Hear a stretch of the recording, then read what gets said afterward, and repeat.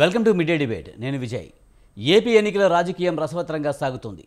చదరంగాన్ని తలపించేలా నాయకుల ఎత్తుగడలు ఉంటున్నాయి. చంద్రబాబుతో జతగడిన పవన్ కళ్యాణ్కు చెక్ పెట్టేందుకు వైసీపీ అధినేత జగన్ ముద్రగడ పద్మనాభం సాయం తీసుకున్నారు. కాపు నాయకుడిగా మంచి పేరున్న ఆయన ఎంతకాలం పవన్పై అనేక విమర్శలు చేస్తూ లేఖాస్త్రాలు కూడా సంధించారు. అయితే ఇప్పుడు ముద్రగడ ఇంట్లోనే అసమ్మతి చెలరేగింది. సాక్షాత్తు ఆయన కూతురే ముద్రగడ వైఖరిని తప్పుపడుతూ పవన్ కళ్యాణ్కు మద్దతు పలికారు. కేవలం పవన్ను తిట్టేందుకే జగన్ తన తండ్రిని వాడుకుంటున్నారని విమర్శించారు. ఆమె వ్యాఖ్యలపై స్పందించిన ముద్రగడ వివాహత అయిన తన కూతురు ఇప్పుడు తన ప్రాపర్టీ కాదంటూ లాజిక్ పాయింట్ లాగారు. ఇంతకీ ప్రజలు దీన్ని ఎలా అర్థం చేసుకుంటారు? ముద్రగడ మాటలను నమ్ముతారా? లేక ఆయన కూతురు మాటలను విశ్వసిస్తారా?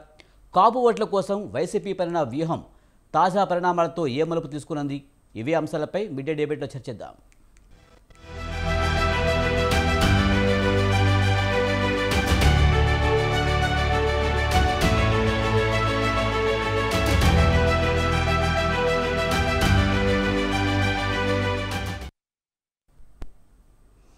పిఠాపురం నుంచి పవన్ కళ్యాణ్ని తన్ని తరిమేకపోతే తన పేరు మార్చుకుంటారని ముద్రగడ పద్మనాభం ఛాలెంజ్ విసిరారు.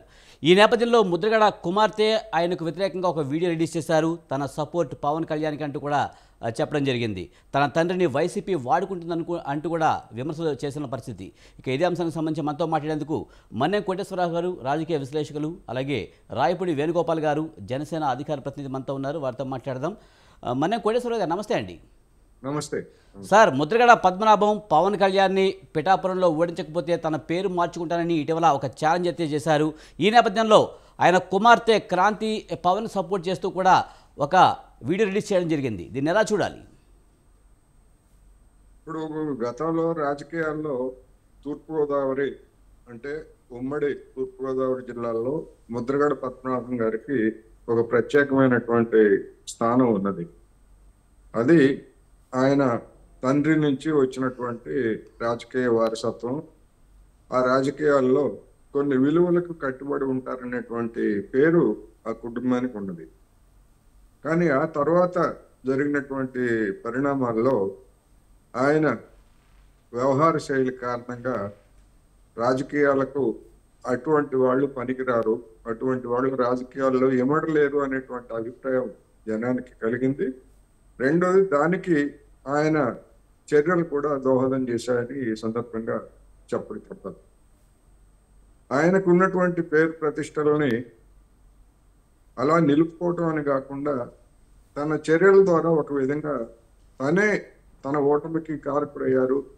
గతంలో అదే పిఠాపురంలో పోటీ చేసినప్పుడు ఆయన ఓడిపోయారు అనేటువంటిది కూడా అందరికీ తెలిసినటువంటి అంశం. అందువల్ల ఇవాళ మారినటువంటి పరిస్థితుల్లో ముద్రగడ పద్మనాభం గారు చెబితే ఎంత మేరకు ఆయన సామాజిక తరగతి కానీ లేదా ఆ ప్రాంతంలో ఉన్నటువంటి ఇతర సామాజిక తరగతులు కానీ ప్రభావితం అవుతారనేటువంటిదే పెద్ద ప్రశ్నార్థకంగా ఎప్పుడు కూడా ఆయన కాపు ఉద్యమం సందర్భంగా కానివ్వండి లేదా ఇతరత్ర రాజకీయంగా ఆయన కొన్ని సందర్భాల్లో యాక్టివ్గా ఉన్నప్పటికీ ఆయన కుటుంబ సభ్యులుగా ఉన్నటువంటి వాళ్ళు ఎవరు అంతగా రాజకీయాల్లో పాల్గొన్నటువంటి వాళ్ళు కాదు ఎప్పుడు బయటకు కూడా వచ్చినటువంటి వాళ్ళు కాదు. అందువల్ల ఇవాళ వైసీపీకి ఆయన మద్దతు ప్రకటిస్తే ఎంతమంది ఆయన వెనకాల ఉన్నారనేటువంటిదే ఒక ప్రశ్నార్థకంగా మారినప్పుడు ఆయన కుమార్తె తండ్రి వైఖరికి భిన్నంగా ఉండొచ్చు. ఎందుకంటే ఏ కుటుంబంలో ఉన్నటువంటి వాళ్ళు ఎవరు ఎటువంటి ఒపీనియన్ అయినా కలిగి ఉండొచ్చు. కానీ తండ్రికి రాజకీయ వైఖరికి భిన్నంగా పవన్ కళ్యాణ్ గారికి మద్దతు ప్రకటించినా లేదా ఆ కూటమికి మద్దతు ప్రకటించినా ఒరిగేదేమిటి అనేటువంటి ప్రశ్న. ఆ ప్రశ్న వేసుకున్నట్లయితే దానివల్ల ఒక ప్రచారం ప్రచారాస్త్రంగా లేదా పనికొస్తుంది తప్ప మీడియాలో అంతకు మించి అదనంగా పవన్ కళ్యాణ్ గారికి కానీ లేదా తెలుగుదేశం బీజేపీ కూటమికి కానీ పెద్దగా ఒరిగేదేమీ లేదనేది నాకు అభిప్రాయం ఈ కోటేశ్వరరావు గారు ముఖ్యంగా గతంలో పిఠాపురంలో ఓడిన ముద్రగడ ఇంత స్టార్ ఇమేజ్ ఉన్న పవన్ కళ్యాణ్ని ఖచ్చితంగా ఓడించాలన్న కసి ఎందుకంటారు? కేవలం రాజకీయ ప్రయోజనాల కోసమే అంటారా? రాబోయే రోజుల్లో ఏమన్నా వైసీపీలో ఏదన్నా ప్ర- ప్రత్యేకమైన పదవి కోసమే ఆయన ఇలా ఈ పని చేస్తున్నారు అనుకోవాలా? అంటే దానికి పవన్ కళ్యాణ్ గారు కానివ్వండి లేదా ముద్రగడ గారు పద్మనాభం గారు కానివ్వండి ఎక్కడ ఇంతవరకు బహిరంగంగా ఎలాంటి ప్రకటనలు చేయలేదు. అయితే సోషల్ మీడియాలో కానివ్వండి లేదా ఇతర ప్రైవేట్ సంభాషణలో కానివ్వండి వాళ్ళిద్దరికి అంటే తనకు ఇవ్వాల్సినటువంటి గౌరవం ఇవ్వలేదనేటువంటి అభిప్రాయం ఒకసారి వచ్చిందని.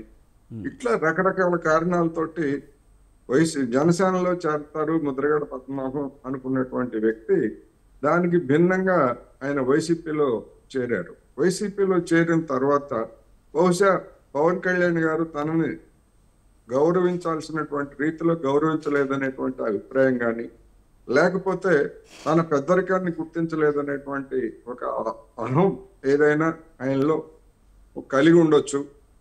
దానికి పవన్ కళ్యాణ్ గారు ద్రోహ దోహదం చేశారా? లేకపోతే తన గురించి తానే ఎక్కువగా ఊహించుకొని ముద్రగడ గారి ఆ విధంగా వ్యవహరిస్తున్నారా అనేటువంటిది మనం ఏది నిర్ధారణగా చెప్పలేం కానీ మొత్తం మీద ఒక కసి అనేటువంటిది ఫైనల్గా ముద్రగడ గారు చేసినటువంటి ప్రకటనతో పవన్ కళ్యాణ్ మీద ఒక రాజకీయ పరమైనటువంటి కసి. ఎందుకంటే వ్యక్తిగతంగా వాళ్ళకి ఏమీ శత్రుత్వాలు కానీ అట్లాంటివి ఏమీ లేవు. లేదా బంధుత్వాలు కానీ లేదా ఇతరత్ర వ్యాపార సంబంధాలు కానీ ఏమీ లేవు. ఒక రాజకీయ పరమైనటువంటి కసి ఏర్పడింది. దానిలో భాగంగానే ఆయన చేసినటువంటి ప్రకటన అనేది నా అభిప్రాయం. రైట్ ఇంకొక తీవ్రమైన వివాదాస్పద వ్యాఖ్యలు కూడా ముద్రగడ పద్మనాభం చేశారు. తన కూతురు తన ప్రాపర్టీ కాదని కొడుకైతే తన ప్రాపర్టీ అంటూ కూడా కొన్ని వివాదాస్పద వ్యాఖ్యలు చేశారు. దీన్ని ఎలా చూడాలంటారు?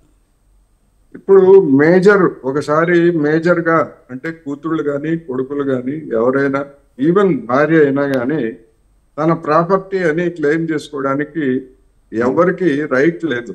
ఎందుకంటే కూతురు కొడుకు భార్య ఎవరు ప్రాపర్టీస్ కాదు. అవును. కుటుంబ సభ్యులు కుటుంబ సభ్యులు తప్ప అంటే ప్రాపర్టీ అనే మాట నిజంగా ఆయన వాడి ఉంటే నేను చెప్తున్నా. అది సరైనటువంటి పదజాలం కాదు. అది చట్టం కూడా అంగీకరించదు. ఎందుకంటే ఆ భావజాలం అనేటువంటిది మహిళలు మా ప్రాపర్టీ లేకపోతే భార్య నా ప్రాపర్టీ ఇట్లా ఈ విధమైనటువంటి భావజాలం అనేటువంటి కరెక్ట్ కాదు. అందులోనూ బహిరంగంగా అసలు వ్యక్తీకరించకూడదు అనేది ఈ సందర్భంగా స్పష్టంగా చెప్పదలుచుకున్నాను ఎందుకంటే వ్యక్తి వ్యక్తిత్వం ఉన్నటువంటి మనుషులు ఈవెన్ మైనారిటీ తీరకపోయినప్పటికీ తల్లిదండ్రుల మీద ఆధారపడినటువంటి ఆడపిల్లలు కానీ మగపిల్లలు కానీ వాళ్ళని వాళ్ళ ప్రాపర్టీగా చూడకూడదు. చూడటం అలా చూడటం తప్పు. అది ఈ సందర్భంగా మనం చెప్పుకో రైట్ మనతో పాటు రాయపూడి వేణుగోపాల్ గారు ఉన్నారు జనసేన అధికార ప్రతినిధి. ఆయనతో మాట్లాడదాం. వేణుగోపాల్ గారు నమస్తే అండి. సార్ పవన్ కళ్యాణ్ పిఠాపురం నుంచి తన్ని తరిమేస్తామని చెప్పి ముద్రగడ పద్మనాభం గతంలో స్టేట్మెంట్ విసిరారు ఛాలెంజ్ చెప్పారు. కానీ వైసీపీ ముద్రగడను వాడుకుంటుందని ఆమె కుమార్తె క్రాంతి చెప్తున్నారు. ఎలా చూడాలి? ముందుగా స్వతంత్ర యాజమాన్యానికి విజయ్ గారు మీకు అదేవిధంగా పెద్దలు మరి పెద్దలకి కూడా నా హృదయపూర్వకమైనటువంటి నమస్కారాలు తెలియజేస్తున్నాను. ఎందుకంటే వాళ్ళు నిజంగా ముద్రగడ పద్మనాభం గారి గురించి మాట్లాడుకుంటే ఆయన ప్రజానాయకుడు మాత్రం కాదు ఎట్టి పరిస్థితుల్లో ఆయన రాజకీయ నాయకుడు లాగానే ఇవాళ ఆయన వ్యవహార చేయలేము ఎందుకంటే తన స్వ- తన సొంత కుటుంబంలో నుంచి వచ్చినటువంటి తన బిడ్డే ఇవాళ తన తండ్రిని విమర్శిస్తుంది అంటే దానికి ఇప్పుడు ఎప్పుడే చెప్పారు పెద్దలు. ఎందుకంటే కుటుంబ సభ్యుల్ని కూడా ఈ రాజకీయాల్లో ప్రాపర్టీగా వాడుకుంటున్నారు అనేటువంటి మాటనే అందరూ కూడా ఖండించాల్సినటువంటి విషయం. మానవ సంబంధాలని రాజకీయాలతో ముడిపెట్టుకుని మాట్లాడటం అనేది చాలా దుర్మార్గమైన చర్య. ఎందుకంటే ఇవాళ మీకు మీ కుమార్తె ఒక మంచి ఆలోచనతో ఏదైతే పవన్ కళ్యాణ్ గారు ఒక సమ సమాజాన్ని ఒక నవ సమాజాన్ని రేపటి భవిష్యత్తు కోసం రేపటి బిడ్డల తరం కోసం ఒక ప్రజాస్వామ్య పరిరక్షణ కోసం ఈ దుర్మార్గమైనటువంటి ప్రభుత్వాన్ని ఈ దుష్ట ప్రభుత్వాన్ని ఈ ఫ్యాక్షన్ ప్రభుత్వాన్ని అంతమొందించడానికి ఆయన తీసుకున్నటువంటి నిర్ణయం ఆయన పెట్టినటువంటి పార్టీ ఆయన ప్రయాణం చేసేటువంటి ఎన్డీఏ కూటమి. ఇదంతా కూడా బేరీజ్ వేసుకుంటే ఇవాళ యువతలో మార్పు వచ్చినటువంటి పరిస్థితి ఉంది. ఇరవై ఐదు సంవత్సరాల నుంచి ముప్పై సంవత్సరాల వరకు వచ్చినటువంటి ప్రతి యువత కూడా ఈ పది సంవత్సరాల నుంచి పవన్ కళ్యాణ్ గారి యొక్క ప్రయాణం గాని పవన్ కళ్యాణ్ గారు చెప్పేటువంటి మాటలు గాని పవన్ కళ్యాణ్ గారి యొక్క విజన్ ఏంటి ఎలా ఉంటది అనేటువంటి ఆలోచన. ఆయన ఊరికినే ఏదో విలాసవంతమైనటువంటి జీవితాన్ని గడు గడపాల్సినటువంటి పరిస్థితుల్లో ఇలాంటి ముళ్ళకంప లాంటి రాజకీయంలోకి వచ్చారు అని అంటే ఆయన సుదీర్ఘమైనటువంటి సమాజ మార్పు కోసం ఆయన ఆయన అడుగులు పడుతున్నాయి అనేది మనం అర్థం చేసుకోవాల్సినటువంటి అవసరం ఎంతైనా ఉంది.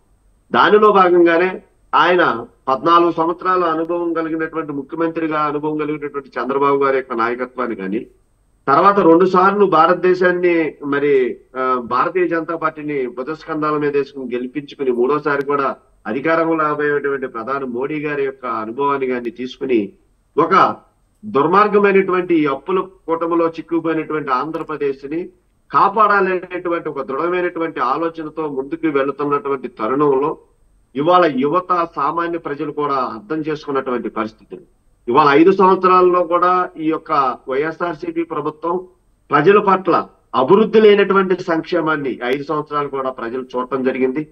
ఈ ప్రజలు చూసినటువంటి విధానంలో మరి యువత ఎక్కువగా యువత నేను ఇందాక అదే చెప్పింది ఇరవై ఐదు నుంచి ముప్పై సంవత్సరాల మధ్యన ఉన్నటువంటి యువతలో ఇవాళ విపరీతమైనటువంటి మార్పు రావటం ఆ మార్పుకి నాందే మరి ముద్రగడ పద్మనాభం గారు లాంటి యొక్క తనయ కూతురు ఇవాళ బయటకు వచ్చి మా నాన్న చేసేటువంటి వ్యాఖ్యలు సరైనటువంటి కాదు.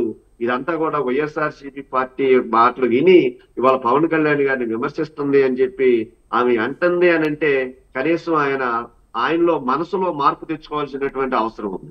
ఇక తర్వాత ముద్రగడ గారు ముద్రగడ గారి యొక్క వ్యాఖ్యలు చూసుకున్నట్టయితే వీళ్ళంతా ఎలా తయారయ్యారంటే కేవలం ముద్రగడ పద్మనాభం గారు ఒక కాపు సామాజిక వర్గానికి పెద్దగా వ్యవహరిస్తున్నట్టుగా నటించి తన రాజకీయ భవిష్యత్తు కోసం కేవలం పదవి వ్యామోహంతోనే ఇప్పటి వరకు ఉద్యమాలు నడపటం గాని ఆయన యొక్క ఉద్యమ నైవేద్యాన్ని గాని మనం కనుక చూసినట్లయితే మరి ఆయన మాట్లాడితే మరి కాపులకు రిజర్వేషన్ అంటాడు.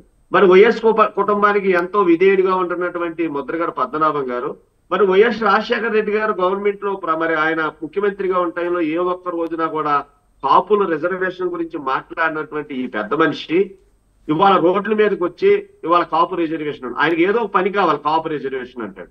ఇవాళ కాపు రిజర్వేషన్ రిజర్వేషన్ అనేటువంటి ఉద్యమాన్ని కాపు ఉద్యమాన్ని తెర మీదకి తీసుకొచ్చి ఒక నాయకుడి యొక్క లక్షణం ఏంటంటే అందరినీ కూడా మనం చూసాం. పూజ బాబుజీ మహాత్మా గాంధీ గారిని కానీ అంబేద్కర్ గారు లాంటి మేధావుల్ని మనం చూసినటువంటి భారతదేశ చరిత్రలో ఒక ఉద్యమాన్ని నడిపేటువంటి వ్యక్తి లక్షలాది మంది పోగైనటువంటి సందర్భంలో ఆవేశపూరితమైనటువంటి మరి మాటలు మాట్లాడటం వలన ఆ రోజున రైలు దహనమైనటువంటి కేసును కూడా మనం చరిత్రలో ఈ రోజు చెప్పుకోవాల్సిన అవసరం ఉంది. మరి సావధానంగా నువ్వు జాతిని ఉద్దేశించి లేకపోతే జాతి కోసం నువ్వు పాలు పాటు పడేవాడు అయితే నీ వ్యాఖ్యలు చాలా శాంతంగాను తర్వాత భవిష్యత్తు కార్యాచరణగా ఉండాలి తప్ప పదండి రైలు పట్టాల మీదకి వెళ్దాం అనేటువంటి ఆయన ఆవేశపూరితమైనటువంటి ఆనాడు మాటలు చూసుకున్నట్టయితే వేణుగోపాల్ గారు వేణుగోపాల్ గారు ఇప్పుడు బ్రేక్ లెక్క వెళ్దామంటే బ్రేక్ తర్వాత డిబేట్ కంటిన్యూ చేద్దాం. వేణుగోపాల్ గారు వైసీపీ అభ్యర్థి గెలుపు కోసం ప్రయత్నించవచ్చు కానీ ఇలాంటి వ్యాఖ్యలు చేయడం కరెక్ట్ కాదనే విమర్శలు వస్తున్నాయి. ముఖ్యంగా తన కూతురు తన ప్రాపర్టీ కాదని వ్యాఖ్యలు చేయడం అటు ఉంచితే ఆ, గతంలో షర్మిళ జగనన్న వదిలిన బాలం అంటూ వైసీపీకి ఎంతో ప్రచారం చేశారు. ఎప్పుడైతే ఆమె కాంగ్రెస్లో చేరడం జరిగిందో తోబుట్టు అని ఆలోచించకుండా కూడా పార్టీలో జగన్మోహన్ రెడ్డి గారిని లేకపోతే వైసీపీ నేతలు కానీ చేస్తున్న విమర్శలు తారస్థాయికి చేరిపోయాయి. ఎలా చూడాలంటారు ఇవన్నీ పెద్దల కోటేశ్వరరావు గారు చాలా చాలా ఆయన తక్కువగా మాట్లాడినప్పటికీ కూడా చాలా వివరణాత్మకమైనటువంటి విశ్లేషణ ఆయన చెప్పడం జరిగింది.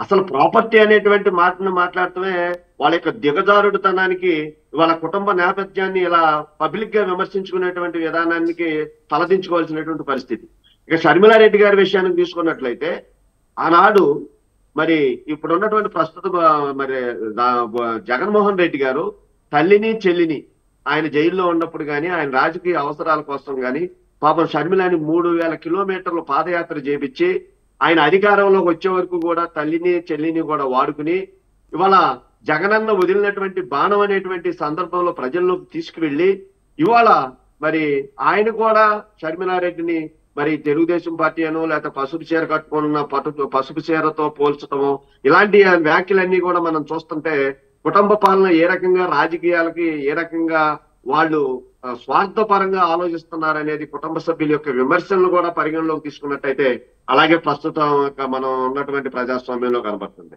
దానిలో భాగంగానే ఇవాళ ముద్రగారు పద్మనాభం గారు ఇందాక పెద్దలు కోటేశ్వర గారు చెప్పారు. అంటే ఆయన యొక్క భావజాలం మారిపోయేటువంటి పరిస్థితులను కనుక మనం పరిగణలోకి తీసుకుంటే పవన్ కళ్యాణ్ గారు ఆయన ఇంటికి వెళ్ళి ఆయనతో మాట్లాడితే పవన్ కళ్యాణ్ గారు యొక్క ఆశయాలు పవన్ కళ్యాణ్ గారు మంచి వ్యక్తి పవన్ కళ్యాణ్ గారు ఈ రాష్ట్రానికి అవసరమైనటువంటి వ్యక్తిగా గుర్తించడం ఆయన ఆయన దగ్గరికి వెళ్ళకపోయేసరికి మరి జగన్మోహన్ రెడ్డి గారి యొక్క వేగుల్ని ఆయన దగ్గరికి పంపించి మరి ఒకసారి కలుసుకుని మాట్లాడటానికి అవకాశం ఇచ్చేసరికి మరి జగన్మోహన్ రెడ్డి గారు మరి మహానుభావుడు మహా వ్యక్తి అయిపోయినటువంటి సందర్భాలను చూసుకుంటున్నట్టు ఇది ఏంటి?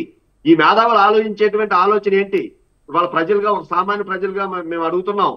మీ యొక్క ఆలోచన విధానం ఏంటి? ఒక ఉద్యమ నాయకుడిగా ఒక జాతి నాయకుడిగా నువ్వు పేరు తెచ్చుకున్నటువంటి వ్యక్తి పేరు తెచ్చుకుంటాం అంటే ఎవరో పెట్టలేదని ఆయన అంతగా ఆయన తెచ్చుకున్నటువంటి పేరుని ఇవాళ మీ స్వార్థ రాజకీయాల కోసం బలి చేసుకుని ఇవాళ వ్యక్తిగత దోషులతో పవన్ కళ్యాణ్ గారిని ఇంకో మాట అంటావు. ఆల్రెడీ సోషల్ మీడియాలో వెలువడుతుంది. ఏమంటున్నారు? నేను పేరు మార్చుకుంటాను అంటున్నావు ఆల్రెడీ నీకు పేరు మార్చేశారు పద్మనాభ రెడ్డి అని. కాబట్టి ఇది అన్నిటినీ కూడా ఇవాళ సోషల్ మీడియాలో చూసుకున్నటువంటి వ్యాఖ్యలు కూడా చూసుకున్నట్లయితే ఒక వ్యక్తిని నువ్వు ఇంత దోషణంగా ఇవాళ క్షేత్రస్థాయిలో పిఠాపురంలో బ్రహ్మాండమైనటువంటి ప్రజలు ప్రజల యొక్క ఆలోచన విధానాన్ని రోజు రోజు వాళ్ళు తెలియజేస్తున్నారు. పవన్ కళ్యాణ్ గారి అవసరం ఇప్పుడు ప్రస్తుతానికి రాష్ట్రానికి. పవన్ కళ్యాణ్ గారిని మేము గెలిపించుకుంటామని చెప్పి పిఠాపురంలో చెప్తూ పిఠాపురంలో కూడా నువ్వు నిలబడి ఓడిపోయినటువంటి వ్యక్తివి. ఇవాళ నువ్వు పవన్ కళ్యాణ్ గారిని నేను అది చేస్తాను ఇది చేస్తాను. పవన్ కళ్యాణ్ గారు అనేటువంటి వ్యక్తి ఈ రాజకీయాల్లో ఒక అనవసరమైనటువంటి వ్యక్తి అని చెప్పి ఈ రోజు నువ్వు వ్యాఖ్యలు చేస్తున్నావు అంటే చాలా సిగ్గుపడాల్సినటువంటి విషయం. నువ్వు ఎలాగో నువ్వు ఆయన అంటాడు నేను పదవిని ఆశించి ఏ ఈ పార్టీలోకి నేను చేరలేదు అంట దేనికోసం నువ్వు చేరావు? ఏ ఉద్దేశంతో చేరావు? కాపు రిజర్వేషన్ ఇవ్వటం సాధ్యం కాదు అన్నటువంటి జగన్మోహన్ రెడ్డి ప్రభుత్వంలోకి కాపు రిజర్వేషన్ పేరుతో ఒక ఉద్యమ నాయకుడిగా నువ్వు పైకొచ్చి ఆ పార్టీ పక్కన నువ్వు చేరావంటే ఏ ఉద్దేశంతో చేరావో నువ్వు ప్రజలకు సమాధానం చెప్పాల్సినటువంటి అవసరం ఉంది. కాపులకి రిజర్వేషన్ సౌకర్యమే మేము కల్పించలేనటువంటి పరిస్థితి మాది కాదు అని చెప్పినటువంటి జగన్మోహన్ రెడ్డిని నువ్వు వంట కాగుతున్నావంటే వాళ్ళ జాతిని మోసం చేస్తున్నావు ఇవాళ ప్రజాస్వామ్యాన్ని అపహాస్యం చేస్తున్నావు ఇవాళ ఆంధ్రప్రదేశ్ అప్పుల ఊబుల్లో చిక్కు చిక్కుకుపోయి ఇవాళ అభివృద్ధి లేకుండా కనీసం సంపద లేకుండా పరిశ్రమలు లేకుండా కనీసం కూడా ఒక రాష్ట్రం ఒక దేశ ఒక రాష్ట్రానికి రాజధాని కూడా లేనటువంటి ఆంధ్ర రాష్ట్రాన్ని పరిపాలిస్తున్న జగన్మోహన్ రెడ్డికి నువ్వు భుజం కాసి నువ్వు ఆయన పక్కన ప్రచారం చేసి నేను పవన్ కళ్యాణ్ ఓడిస్తాను నేను పవన్ కళ్యాణ్ ఓడిస్తాను పవన్ కళ్యాణ్ ఇక్కడి నుంచి నేను తరిమేస్తాను అనేటువంటి ఒక నియంతలాగా నీ మాటలు ఏంటంటే నిజంగా చాలా నవ్వుకోవాల్సినటువంటి పరిస్థితులు ఇవాళ ప్రజలు అర్థం చేసుకునేటువంటి పరిస్థితులు ఉన్నారు నీ యొక్క వేణుగోపాల్ గారు ముఖ్యంగా. ముద్రగడ చేసిన వ్యాఖ్యల్లో ఇంకొక విషయం ఏంటంటే కూతురు తన ప్రాపర్టీ కాదంటం ఒకటైతే కొడుకు మాత్రం తన ప్రాపర్టీ అని చెప్పడం ఇంకొకటి ఆ, నిజానికి పెళ్ళైతే కూతురు కూతురు కాకుండా పోదు మళ్ళీ కొడు కొడుకుని పర్టికులర్గా తన ప్రాపర్టీ అని చెప్పుకోవడం ఒకటైతే ఇది ఆడపిల్లల మీద ఒక రకమైన వివక్షలాగా అనిపించడం లేదా ప్రజలు రేపటి నుంచి చూడండి ఇంకో గంట తర్వాత సోషల్ మీడియాలోనే చూస్తాం మనం. ఆ యొక్క ప్రాపర్టీ కాదు అనేటువంటి విషయం మీద ప్రజల స్పందన ఎలా ఉంటది అనేది మనం సోషల్ మీడియా వల్ల ఎంతో మరి డెవలప్ అయినటువంటి ఈ రోజుల్లో మనం సోషల్ మీడియా ద్వారా ఆయన ఎదుర్కోవాల్సినటువంటి పరిస్థితులు ఉన్నాయి. ఆ మాట ఇందాక పెద్దలు కోటేశ్వరరావు గారు చెప్పినట్టు హండ్రెడ్గా హండ్రెడ్ పర్సెంట్ ప్రాపర్టీని కూతురుతో పోల్చడం అనేది కూతుర్ని పోల్చడం అనేది అది ఒక పెద్ద నేరం అది ఒక పెద్ద క్రైము ఏంటంటే వాటాలు వేసుకోవటం ఏంటంటే బిడ్డలో వాటాలు వేసుకోవటం ఏంటంటే ప్రాపర్టీలు ఏంటి అంటే నీ నీ నీ కడుపున పుట్టిన బిడ్డ ఇవాళ రాజకీయంగా ఇవాళ మామ అల్లుడు అన్న తమ్ముళ్ళు అనే కుటుంబంలో ఉన్న కుటుంబ సభ్యులు రాజకీయాల్లో పోటీలు పడుతున్నటువంటి ప్రజాస్వామ్యం ఇది. ఎవరైనా నిలబడేటువంటి హక్కు ఉంది. ప్రజాస్వామ్యంలో ఏదైనా చేసేటువంటి హక్కు ఉంది. ఇలాంటి పరిస్థితుల్లో ఒక వ్యక్తి గురించి ఒక మంచి స్వభావం కలిగినటువంటి పవన్ కళ్యాణ్ గారి గురించి తన కూతురు మాట్లాడినటువంటి మాటలను నువ్వు తట్టుకోలేక ఇవాళ రేపు నా కూతురే కాదు అనేటువంటి పరిస్థితుల్లో ఈ దౌర్భాగ్యమైనటువంటి రాజకీయాలు ఉన్నాయా అని చెప్పి వాళ్ళ ప్రజలు ఆలోచించేటువంటి పరిస్థితులు ఉన్నాయి. తప్పకుండా ఆయన మాట్లాడినటువంటి ప్రాపర్టీ అనేటువంటి మాటని మరి ఆయన బేషరతగా క్షమాపణ చెప్పకపోతే మాత్రం సోషల్ మీడియాలో ఆయన అనేకమైనటువంటి సమస్యలు ఎదుర్కోవాల్సినటువంటి అవసరం ఉంది. కాబట్టి ఇప్పటికైనా పెద్ద ఆయన మరి అంత వయసు వచ్చింది మరి నిజంగా ఆయన మాట మాట్లాడతాం అనేది కూడా చాలా బాధకరమైన ఇందాక పెద్దలు కోటేశ్వరరావు గారు అన్నారు ఏమంటారంటే ఆయన అన్నారో లేదన్న. స్పష్టంగా మేము కూడా ఎన్నో సోషల్ మీడియాలో ఆయన మాట్లాడిన మాటల్ని స్పష్టంగా ఆయన అన్నారు ఎక్కడికో అత్తవారింటికి వెళ్ళిపోయిన తర్వాత అది మా ప్రాపర్టీ కాదనేది చాలా స్పష్టంగా మాట్లాడారు కాబట్టి ఆ మాటలు చాలా తప్పైనటువంటి విషయాలు. దయచేసి కుటుంబ సభ్యుల్ని రాజకీయాలను ఉపయోగించుకుని రాజకీయ స్వలాభం కోసం ఆస్తులు పంపకాలలాగా కుటుంబ వ్యవస్థను చేయొద్దని చెప్పి మాత్రం మా యొక్క మీ ద్వారా మా సలహాలు రైట్. కోటేశ్వర గారు ముఖ్యంగా ఎన్నికలు సమీపిస్తున్న నేపథ్యంలో కాపు సామాజిక వర్గం వర్గం అంతా పవన్ కళ్యాణ్ వైపు టర్న్ అవుతుంది అనుకోవాలా? కంప్లీట్గా అందరూ ఏకమయ్యారనుకోవాలా? అలాగే పవన్ కళ్యాణ్పై పదే పదే వైసీపీ నేతలు నాలుగు పెళ్ళిళ్ళని మూడు పెళ్ళిళ్ళని పదే పదే వ్యక్తిగత విమర్శలు చేయడంతో కాపులందరూ రగిలిపోతున్నారు. ఈసారి ఏకపక్షంగా కాపు సామాజిక వర్గం పవన్ కళ్యాణ్కే సపోర్ట్ చేయబోతుందనే వాదన అయితే ఉంది. ఇప్పుడు పవన్ పెళ్ళిళ్ళు మూడు పెళ్ళిళ్ళ లేకపోతే ఎన్ని పెళ్ళిళ్ళు అనేటువంటిది పవన్ కళ్యాణ్ గారి వ్యక్తిగతమైనటువంటి అంశం. ఆయన మూడు పెళ్ళిళ్ళు చేసుకున్నా లేదా ఒక పెళ్ళి చేసుకున్నా మొత్తం కాపు సామాజిక తరగతిని సంప్రదించి చేసుకున్నది కాదు. లేదా విడాకులు ఇచ్చి భార్యలతోటి తెగ తప్పులు చేసుకున్నప్పుడు కూడా కాపు సామాజిక తరగతి కాపు సామాజిక తరగతికి ఎలాంటి సంబంధం లేదు. అది వ్యక్తిగతమైనటువంటి అంశం. అందువలన దాని మీద ఎవరో విమర్శలు చేస్తే మొత్తం సామాజిక తరగతి అంతా కూడా రగిలిపోవాల్సినటువంటి అగత్యము లేదు. అది దానివల్ల ఆ- ఆ మాట అనటంలో కూడా అది అంత సరైనటువంటి వర్ణన కూడా అది నేను అనుకోవట్లేదు ఎందుకంటే మన వ్యక్తిగతంగా మనం చేసేటువంటి పనులకి మనం పుట్టినటువంటి సామాజిక తరగతి ఎట్లా బాధ్యత వహిస్తుంది? అందువలన అది కాదు. ఓ రెండవది మొత్తం కాప్ సామాజిక తరగతి అంతా కూడా పవన్ కళ్యాణ్ వెనకాలే ఉన్నది. అంటే అనేది కూడా పూర్తిగా వాస్తవం కాదు. ఎందుకు అంటే రెండు వేల పంతొమ్మిదిలోనే మొత్తం కాప్ సామాజిక తరగతి ఆ విధంగా పవన్ కళ్యాణ్ వెనకాల సమీకరణ కాలేదు. అంతకు ముందు చిరంజీవి గారి వెనక కూడా సమీకరణ కాలేదు అనేటువంటిది అందరికీ తెలుసు. అందరికీ తెలిసినటువంటి ఒక సత్యం. అటువంటప్పుడు ఇప్పుడు ప్రత్యేకంగా పవన్ కళ్యాణ్ గారి వెనకాల ర్యాలీ కావాల్సినటువంటి అవసరం ఏమిటనేటువంటిది ఒక సమస్య వస్తుంది. ఎందుకు అంటే తెలుగుదేశం పార్టీ తోటి పవన్ కళ్యాణ్ గారు సర్దుబాటు చేసుకోక ముందు ఆయన్ని ముఖ్యమంత్రి అభ్యర్థిగా పరిగణిస్తూ తెలుగుదేశం జనసేన శ్రేణులు పెద్ద ఎత్తున ఆశలు పెట్టుకున్నాయి. అటువంటి ఆశలు ఇప్పుడు లేవు. అందువల్ల ఇప్పుడు లేనప్పుడు తమ సామాజిక తరగతికి చెందినటువంటి పవన్ కళ్యాణ్ ముఖ్యమంత్రి అయ్యేటువంటి అవకాశం లేదనేటువంటిది స్పష్టం. ఎందుకంటే ఆయన పోటీ చేస్తున్నటువంటి నియోజకవర్గాల సంఖ్య రీత్యా చూసినా లేదా వాటిలో గెలుపోటములు మొత్తంగా చూసినా తెలుగుదేశం చంద్రబాబు నాయుడు గారు లేదా తెలుగుదేశంలో ఇంకోళ్ళు ఎవరో అనేటువంటిదే తప్ప అందువలన ప్రత్యేకంగా ఇప్పుడు పవన్ కళ్యాణ్ గారి వెనకాల పనిగట్టుకుని కాపు సామాజిక తరగతి అంతా ర్యాలీ కావాల్సినటువంటి రాజకీయ పరమైనటువంటిది కానీ లేదా అభిమానం కానీ ఉందని నేను అనుకోవట్లేదు. రెండోది ఎప్పుడు కూడా ఆంధ్రప్రదేశ్ రాజకీయాల్లో కానివ్వండి లేదా భారతదేశంలో ఏ రాష్ట్రంలో చూసినా లేదా దేశవ్యాప్తంగా చూసినా కానీ ఒక కులం వెనకాల ఆ కులానికి చెందిన ఒక కుల నాయకుడు వెనకాల ఆ కులానికి చెందినటువంటి వాళ్ళందరూ ర్యాలీ అయినటువంటి ఉదంతాలు ఇంతవరకు అటువంటి ఉదంతాలు లేవు. అందువల్ల వాటికి భిన్నంగా పవన్ కళ్యాణ్ గారు ఒకవేళ ఎవరైనా పవన్ కళ్యాణ్ గారిని కాపు సామాజిక నాయకుడు లేదా కాపు కుల పార్టీ నాయకుడు అని ఎవరైనా వర్ణించారంటే లేదా ఎవరైనా అనుకున్నా ఆయన అభిమానులు అనుకున్నా కానీ అది ఆ జనసేన పార్టీని కొన్ని పరిమితులకి కుదించడం తప్ప మరొకటి కాదు. అందువలన అటువంటి భ్రమంలో ఇవాళ కాపు సామాజిక తరగతి ఉందని నేను అనుకోవట్లేదు. అటువంటి భ్రమలు లేనప్పుడు ఎవరికి నచ్చినటువంటి పార్టీకి వాళ్ళు ఓటు చేసుకుంటారు అనేది నా అభిప్రాయం. రైట్ మనతో పాటు డిబేట్లో పాల్గొనేందుకు నారాయణమూర్తి గారు వైసీపీ రాష్ట్ర అధికార ప్రతినిధి మనతో జాయిన్ అయ్యారు. ఆయనతో మాట్లాడదాం. ఆ, నారాయణమూర్తి గారు నమస్తే అండి. నమస్కారం అండి సార్ పవన్ కళ్యాణ్ని పిఠాపురంలో ఓడించకపోతే తన పేరు మార్చుకుంటాను ముద్రగడ పద్మనాభ రెడ్డిగా మార్చుకుంటానన్న వ్యాఖ్యలకు ఆమె కూతురు క్రాంతి కౌంటర్ ఇచ్చారు ఒక వీడియో రిలీజ్ చేశారు. పద్మనా పవన్ కళ్యాణ్కే నా సపోర్ట్ అంటూ కూడా ఒక వీడియో రిలీజ్ చేశారు. ఈ నేపథ్యంలో ముద్రగడ కూడా తీవ్రంగా స్పందించారు. కూతురు తన ప్రాపర్టీ కాదు అంటూ కూడా ఆయన కొన్ని వ్యాఖ్యలు వివాదాస్పద వ్యాఖ్యలు చేశారు. ఎలా చూడాలి? ఇప్పుడు దాని గురించి ఇప్పుడు ఎవరి అభిప్రాయం వాళ్ళకు ఉంటది. కానీ అల్టిమేట్లీ మనం చూడాల్సింది ఏంటంటే ఇవాళ పవన్ కళ్యాణ్ పిఠాపురంలో ఓడిపోతున్నాడు. అతి దారుణంగా ఓడిపోతున్నాడు. ఎందుకు ఓడిపోతున్నాడు అంటే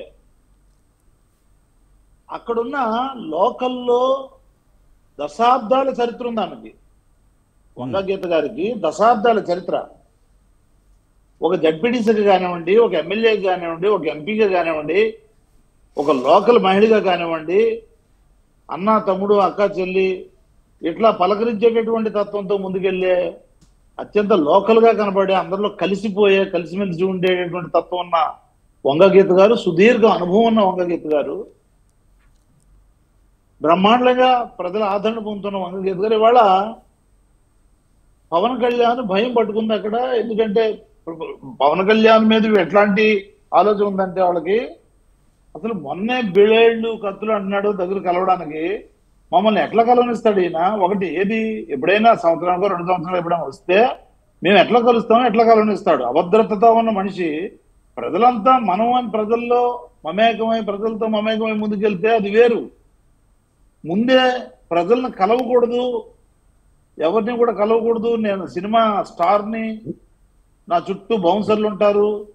Hmm. నేను ఒక ఒక ఏదో పైనుంచి దిగొచ్చిన మనిషిలాగే యాక్ట్ చేస్తాను అనేటటువంటి పద్ధతిలో ఆయన అక్కడ చేసిన కార్యక్రమం ఏదైతే ఉందో వ్యాఖ్యలు అది ప్రజల్లోకి వెళ్ళేయండి.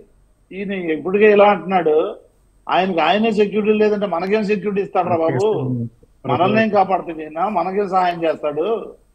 ఆయనే కాపాడుకోలేని పరిస్థితిలో ఉన్నాడు. ఆయనే అభద్రతతో ఉన్నాడు. ఇక్కడ అంతా పటాపురం అంతా అంత సామాన్యులు అంతా సహజంగా చాలా సోషల్గా ఉండే వ్యక్తులు. అక్కడికి వచ్చి నా చుట్టూ నాకు బ్లేడ్లు తగులుతాయి బ్లేడ్లతో వస్తున్నాయి. అంటే అవమానం పరిచారు పిఠాపురం యొక్క జనాన్ని అవమానపరిచారు అనేటటువంటి భావన పిఠాపురంలో ఉన్న అక్కచెల్లెమ్మలు అన్నదమ్ముల చేతుల్లో వాళ్ళ మనసుల్లో ఉంది. సో తప్పనిసరిగా ఇది ప్రతి ఓటర్కి వెళ్ళింది.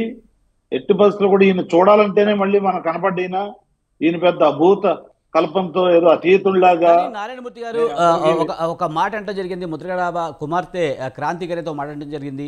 వైసీపీ తన తండ్రిని వాడుకుని వదిలేస్తుంది ఎన్నికల తర్వాత అనే వ్యాఖ్య కూడా చేయడం జరిగింది. పాపానికి అనుభవం లేక ఇప్పుడు కొత్తగా ఇప్పుడు మనం ఫస్ట్ టైం వింటున్నాం. కొత్తగా ఇప్పుడిప్పుడే ఆమె ఎంటర్ అవుతున్నట్టు కనపడుతుంది కాబట్టి దానికి పెద్దగా మనం స్పందించాల్సిన అవసరం లేదండి. ఎందుకంటే రాష్ట్ర ప్రజలందరికీ తెలుసు. ఇప్పుడు నేనున్నా అతి సామాన్యుణ్ణి అతి సామాన్య బీసీ కులానికి చెందిన వ్యక్తిని ఇవాళ నన్ను ఏ స్థానంలో కూర్చోబెట్టాడు? అలాంటిది మరి వాళ్ళని ఏ స్థానంలో కూర్చోబెడతారు? ఇవాళ కాపుల్లో కానివ్వండి ఏ ఏ కమ్యూనిటీ అని తీసుకోండి. నేను ఒక కమ్యూనిటీ గురించి చెప్పను. అద్భుతంగా వాళ్ళకి అవకాశం ఇచ్చాడు. ఐదు ఎంపీ సీట్లు ఇప్పుడు. మా సామ మా కాపు సామాజిక వర్గానికి ఐదు ఎంపీ సీట్లు ఇచ్చారు. ఎమ్మెల్యేలు మినిస్టర్లు డిప్యూటీ సీఎం ఎమ్మెల్సీలు ఇవ ఈ విధంగా చెప్పుకుంటూ పోతే అత్యంత పెద్దపీట వేశాడు. చరిత్రలో ఏనాడు లేని విధంగా. సో ఇవన్నీ ఏదో కుట్రలు చేసి వాళ్ళు వీళ్ళు కలిసి ఆయన ఒక్కడే నెగ్గలేడు కాబట్టి పవన్ కళ్యాణ్ తీసుకొచ్చి పవన్ కళ్యాణ్ ఏం చేశాడు? మనకి ఏజెంట్లు ఉండరు వాళ్ళ భోజనాలు పెట్టలేము. మనం ఎట్లా పోటీ చేస్తాం? మనం ఎట్లా ఇది చేస్తాం? చంద్రబాబు నాయుడు లేకపోతే మనం బతకలేము. ఆయన మనకు భోజనాలు పెట్టాలి. చూడండి ఏ విధంగా మాట్లాడాడు ఆ రోజు తాడిపల్లిగూడెం సభలో. భోజనాలు పెట్టాలి. పది మంది కావాలి ప్రతి బూత్కిని. ఎట్లా ఎక్కడున్నారు? మన దగ్గర ఉన్నారా? భోజనాలు ఖర్చులు అవుతాయి. ఎవరు పెడతారు? మనం పెట్టగలమా? ఎట్లాంటి దిగజారుడు మాటలు? అంటే ఆత్మ పరిశీలన చేసుకోవాల్సిన అవసరం ప్రతి ఒక్కరిలో ఉంది అనేటటువంటి విధంగా గుర్తు చేశాడు ఆయన. ప్రతి ఒక్కరు కూడా ఆయన్ని నమ్మిన వాళ్ళని ఆయన వెనకాల తిరిగిన వాళ్ళకి వీళ్ళందరికీ ఒక మెసేజ్ పంపించాడు. నేను నాకు భోజనాలు పెట్టాలంటే చంద్రబాబు నాయుడే పెట్టాలి. లేదంటే నాకు భోజనం ఇది లేదు అనే పద్ధతిలో మాట్లాడాడు ఆయన. కార్యకర్తల్ని దిగజార్చి మాట్లాడాడు. కానీ ఆత్మ గారు ఏదేమైనప్పటికీ. కూడా వైసీపీ రైట్ ఏదేమైనా వైసీపీ అభ్యర్థి వంగ గీత ఆ, కి చాలా సపోర్ట్ ఉంది. అక్కడ నాలుగు దశాబ్దాలుగా ఆమె అక్కడ ఉంది. తన గెలుపు చాలా ఈజీ అని చెప్తున్నారు. కానీ పిఠాపురంలో చూసుకుంటే మొత్తం అంతా వైసీపీ అక్కడే ఉంది కదా. ఆల్మోస్ట్ బుద్రగడ దగ్గర నుంచి చూసుకున్న ద్వారంపూడి చంద్రశేఖర్ అందరూ కూడా పవన్ కళ్యాణ్ ఓటమి కోసమే పనిచేస్తున్న పరిస్థితి అక్కడ కనిపిస్తుంది. మరి అంత ఈజీగా గెలిచే ఆమె కోసం పవన్ కళ్యాణ్ ఓడించాల్సిన అవసరం ఏముంది? ఈజీగానే ఓడిపోయే అవకాశాలు ఉంటాయి కదా. ఇప్పుడు చిన్న పవన్ అయినా పెద్ద కర్రతో కొట్టాలంటారు. సామెత తెలుసు కదా మీకు? సో ఇప్పుడు ఎన్ని కుట్రలు వాళ్ళంతా ఎన్ని కుట్రలు చేస్తున్నారు తెలుసా అక్కడ లోకల్లో. ఎక్కడా లేని కుట్రలు చేస్తున్నారు. మరి నిజంగా అంత గెలుస్తానే నమ్మకం ఉంటే వాళ్ళకి ఎందుకని కుట్రలు చేస్తా ఉన్నారు? అనేక రకాల ప్రలోభాలు గురి చేస్తా ఉన్నారు. అనేక రకాల విభేదాలు తీసుకొస్తా ఉన్నారు. అనేక రకాల కొత్త కొత్త ఆరోపణలు కొత్త కొత్త వింత పోకడలు పోతా ఉన్నారు వాళ్ళు. ఎందువలన? అంటే గెలి ఓడిపోవడం గ్యారంటీ పవన్ కళ్యాణ్ అని తెలిసిన తర్వాతే వీళ్ళంతా కూడా ఈ హైదరాబాద్ నుంచి జబర్దస్త్ టీం అని ఇంకో టీం అని ఆ టీం ఈ ఏదో చేసే కార్యక్రమం చేస్తున్నారు. ఎన్ని చేసినా వాళ్ళు ఎన్ని కుట్రలు చేసినా ఎన్ని ప్రలోభాలు గుడిపెట్టినా ఎంతమంది మరి అక్కడ దిగొచ్చి పనిచేసినా కూడా లోకల్లో ఉన్న ప్రతి ఓటర్కి కూడా క్లియర్గా తెలుసు ఎవరు వాళ్ళకి సహాయం చేస్తారో ఎవరు వాళ్ళతోటే ఉంటారు ఎవరు వాళ్ళ మధ్యనే ఉండి ముందుకు తీసుకెళ్తారు ఎవరు ఏంటంటే గెలిచిన వెంటనే మళ్ళీ కన పారిపోయి మళ్ళీ కనబడే పరిస్థితి ఉండదు. ఎందుకు నిజ దీనికి నిదర్శనం ఏంటంటే గాజువాకులు ఓడిపోయాడండి. ఇప్పుడు రాజకీయాల్లో గెలిపోవటములు సహజంగా ఉంటాయి అది వేరే విషయం. కానీ ఓడిపోయిన తర్వాత ఏనాడైనా నువ్వు అక్కడికి వెళ్ళి నా ప్రజల గురించి ఏదో మీటింగ్ లేదంటే ఇంకో విధంగా ఇంకో ఇంకో యాక్టివిటీలో కానీ ఇంకొక సందర్భంలో కానీ ఆ- ఏదైతే పోటీ చేసిన నియోజకవర్గం ఉందో ఆ నియోజకవర్గంలో వెళ్ళి నువ్వు కనపడావా మళ్ళీ? అదే విధంగా భీమవరం. కనపడలేదా నువ్వు? అంటే దాని అర్థం ఏంటంటే ఒక కమర్షియల్ యాక్టివిటీ పోటీ చేయడం అనేది. నీ స్వలాభం గురించి మాత్రమే పోటీ చేస్తున్నావు. అక్కడ ప్రజల గురించి కాదు అని గాజువాకలోని భీమవరంలోని పొంకాను పొంకాలుగా మాట్లాడుకున్న సందర్భాలు చూసాం మరి ఈ రోజు మళ్ళీ ఇంకొక మూడో నియోజకవర్గంలో పోటీ చేస్తా ఉన్నాడు పిఠాపురం. వాళ్ళంతా చెప్తా ఉన్నారు. మాలాగా బతుకులు మీ కూడా అయిపోతాయి. ఆవిడ నోటా కన్నా వేసుకోండి కానీ పవన్ కళ్యాణ్ గీకండి ఏదైనా అంటే మరీ విభేదిస్తున్న వాళ్ళు ఎవరైనా ఉంటే. అంటే వైసీపీ కూడా వద్దని చెప్తున్నారా? కాదు కాదు కాదు. నేను అదే అన్నా. నేను తర్వాత చెప్పింది ఏంటి? వాళ్ళు మరీ విభేదిస్తా ఉంటే మరీ మరీ విభేదించే కార్యక్రమం ఉంటే అద్భుతంగా పాలన చేస్తున్న వైఎస్ఆర్ కాంగ్రెస్ పార్టీని తప్ప మీరు ఇంకొకరికి ఓటు వేసే కార్యక్రమం చేయొద్దు అనేటటువంటి కార్యక్రమం ఇంకా చెవు కోసుకుంటాను నేను కాలు కోసుకుంటాను అతని గురించి సినిమా యాక్టర్గా నేను చూస్తాను ఆయన్ని అభిమానిస్తాను అంటే వాళ్ళు ఇంకో దానికి ఏం తప్ప మీరు మాత్రం పవన్ కళ్యాణ్ వేయొద్దని చెప్పడం. ఎన్నో వీడియోలు వచ్చాయి. జగన్మోహన్ రెడ్డి గారు చేస్తున్న పాలన కాపులకు ఇచ్చిన ఆదరణ కానివ్వండి గౌరవం కానివ్వండి ఆర్థిక సామాజిక రాజకీయ అన్ని రంగాల్లోనూ కూడా వాళ్ళకి ఇచ్చిన సపోర్ట్ కానివ్వండి ఆయన ప్రేమిస్తున్న తీరు కానివ్వండి ఇవన్నీ చూస్తున్నప్పుడు ఇంకోళ్ళకి ఓటు వేసే పరిస్థితే ఉండదు అక్కడ. ఓన్లీ ఫ్యాన్ ఆ ఫ్యాన్ స్పీడ్ పెరిగింది అక్కడ. ఆ స్పీడ్లో వీళ్ళందరూ కొట్టుకుపోతా ఉన్నారు. అందుకనే ఎగిరిపోకుండా ఫ్యాన్ స్పీడ్ ఎగిరిపోకుండా తాళ్ళు కట్టుకొని ఒకళ్ళొకళ్ళు ముఠాలుగా తింటా ఉన్నారు. ఇవాళ ముగ్గురు కూడా ఎందుకు కట్టాలనుకున్నారు ఆ ఫ్యాన్ స్పీడ్లో ఎగిరిపోతారని చెప్పేసి ఆ తెలుగుదేశం కానీ లేదంటే ఈ జనసేన కానీ ఒకరినొకరు పట్టుకొని వెళ్తూ మళ్ళీ కమలాన్ని సపోర్ట్గా పట్టుకోవడానికి తీసుకొచ్చారు. కానీ కమలం కూడా ఈ ఫ్యాన్ గుర్తు ఫ్యాన్ స్పీడ్కి తట్టుకునే పరిస్థితి ఉందా? మనం చూసాం కదా రెండు వేల పంతొమ్మిదిలో. నారాయణమూర్తి గారు ఒక్క విషయం చెప్పండి. అంటే నిజంగా కూతురు కొడుకు ఒక ప్రాపర్టీ కింద వస్తారా? ముఖ్యంగా ముద్రగడ చేసిన వ్యాఖ్యలు కూతురు తన ప్రాపర్టీ కాదు కొడుకు మాత్రమే తన ప్రాపర్టీ అంటాం. ఇలాంటి వ్యాఖ్యలు రాజకీయాల్లో అవసరం అంటారా? తురుగు కొడుకు అనేది ఇప్పుడు ఎట్లా ఉంటుందంటే మీకు ఇవాళ ఒకడు ఒక పార్టీలో ఉంటే ఇంకొకడు ఇంకో పార్టీలో ఉన్న సందర్భాలు ఎన్ని చూడలేదు చెప్పండి. ఆ రోజు అంత అంతెందుకు పురంధేశ్వర్ గారు ఉన్నారు? ఏ పార్టీలో ఉన్నారు? చంద్రబాబు నాయుడు గారు ఏ పార్టీలో ఉన్నారు? ఎన్టీ రామారావు గారు పెట్టిన ఆ తెలుగుదేశం పార్టీని హైజాక్ చేసి ఆయన పాపం చిత్రహింసలు చేసే పరిస్థితి ఇవాళ ఆయన లేరనుకోండి అది వేరే విషయం. సో వీళ్ళిద్దరే వేరు వేరుగా ఉన్నప్పుడు ఇక దానికంటే ఏం చెప్పాలి? కానీ విమర్శలు చేయడం విమర్శలు. చేయడం కామనే కానీ రాజకీయ విమర్శలు చేయడం వరకైతే ఓకే కానీ వ్యక్తిగతంగా వెళ్ళిపోయిన పరిస్థితి కనిపిస్తూ ఉంటుంది కదా. ఇప్పుడు వేరే పార్టీకి సపోర్ట్ చేసినంత మాత్రాన కూతురు తన ప్రాపర్టీ కాదనడం అలాగే షర్మిల విషయంలో కూడా ఆమె కట్టుకున్న చీర దగ్గర నుంచి అన్ని అన్ని అన్ని అన్ని విధాల ఎలాగైతే కామెంట్ చేయాలో అన్ని- అన్ని విధాలుగా కామెంట్ చేశారనే విమర్శలు ఉన్నాయి కదా. అంటే కుటుంబ సభ్యులు కుటుంబ అది ఎలాగో వక్రీకరణ ఎలా చేశారు తెలుసు కదా మీకు. ఎందుకంటే ఆ రోజు మరి అత్యంత హీనంగా దయనీయంగా ఆ పార్టీ మీద కానివ్వండి లేదంటే ఆ పార్టీలో ఉన్న లీడర్ల మీద కానివ్వండి మరి శర్మిల గారు తిట్టిన తిట్లు ఎట్లా ఉన్నాయో మనకు తెలుసు. ఆ రోజు తప్పైనవి ఇవాళ ఆమెకి ఎట్లా ఒప్పు అవుతాయి అనేది నాకు అర్థం కాదు. జనాలకు అర్థం కాదు ఏంటంటే ఆ రోజు ఆమె కూడా ప్రతి దాంట్లో భాగస్వామి అక్కడికి వెళ్ళి కలిసిన వాళ్ళలో ఇవన్నీ. కానీ మరి ఆ రోజు విపరీతంగా ద్వేషించాము. వాళ్ళు చేసిన తప్పులు అని చెప్పేసి ప్రజలు నమ్మారు ఆమె నమ్మింది అందరూ నమ్మారు. మరి ఈ రోజు ఏ కారణాల వల్ల ఎవరి ప్రోద్బలం వల్ల ఎవరి డైరెక్షన్ వల్ల ఏ ప్రలోభాల వల్ల ఏ ఏం ఆశించి ఆశించి ఏం కావాలనుకుని మీరు అట్లా చేస్తున్నారు అనేది దాని యొక్క అర్థం తప్ప అంటే ఇప్పుడు పచ్చ ఇప్పుడు పచ్చ కలర్తో వాళ్ళందరూ కూడా కా పచ్చ కాములతో మాట్లాడుతుంటారు పార్టీ వాళ్ళు కూడా. ఈ తెలుగుదేశం పార్టీ వాళ్ళు. మరి మనం ఆలోచించాల్సిన అవసరం కూడా ఉంది కదా. ఇప్పుడు మీరు కాంగ్రెస్ పార్టీగా ఓకే మీరు జాయిన్ అవుతారు. మీ ఇష్టం ఏ పార్టీలోనే జాయిన్ అవ్వచ్చు అదేం ఇష్యూ లేదు. దానికి వెనకాల బ్యాక్గ్రౌండ్ ఏంటి ఎందుకు జాయిన్ అవ్వాలి ఏ సందర్భం ఎవరు ప్రోద్బలం అనేది కూడా ప్రజలందరికీ తెలుసు. అది వేరే వేరే టాపిక్. కానీ కానీ ఇప్పుడు రాజకీయాల్లో ఉన్నప్పుడు పచ్చ కలరు జెండాలు ఎవరు వాడుతున్నారు? తెలుగుదేశం వాళ్ళు వాడుతున్నారు. మరి మీ కలర్ ఏంటి? మూడు రంగుల కలరు కాంగ్రెస్ కలర్ కాంగ్రెస్ ఉంది. అతీతంగా మీరు ప్రజలంతా చూస్తా ఉండగా కూడా ప్రజలంతా చూస్తారు ఏమని అనుకుంటారు అనుకో అనుకోకుండా మీరు విపరీతమైన పోకళ్ళు ఎందుకు పోతా ఉన్నారు అనేది కదా ఇక్కడ క్వశ్చన్ మీరు బట్టలు అనేది ఎవరైనా ఏమైనా వేసుకోవచ్చు అది వేరే విషయం. దాన్ని అసలు కామెంట్ చేయాల్సిన అవసరం లేదు. లేదంటే మన స్వతంత్రం మనకు ఉంటుంది మన ఫ్రీడమ్ మనకు ఉంటుంది అది వేరే విషయం. కానీ కానీ మీరు పబ్లిక్లోకి ఒక సందర్భంలో వెళ్తా ఉన్నారు. ఎలక్షన్ సందర్భంలో వెళ్తా ఉన్నారు. పబ్లిక్లో ఉన్నప్పుడు నాయకులుగా మీరు వెళ్తున్నప్పుడు పబ్లిక్లో వాళ్ళు ప్రతిదీ ఆలోచిస్తారు.